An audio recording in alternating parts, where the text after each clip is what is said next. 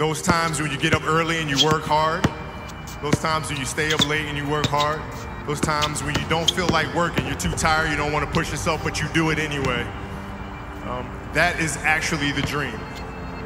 That's the dream. It's not the destination, it's the journey.